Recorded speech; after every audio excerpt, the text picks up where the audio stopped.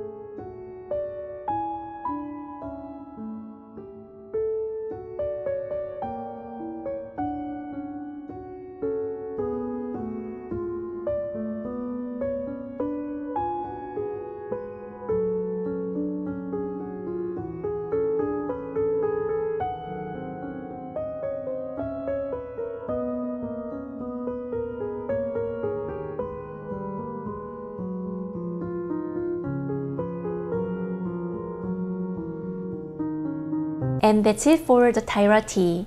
I've made several of these tees and love each one of them. I can't wait to see yours. Tag me in your posts and feel free to express any questions and comment section below. And one last reminder to click like, subscribe, and ring the bell. Thank you so much for watching. I will see you in my next video. 안녕.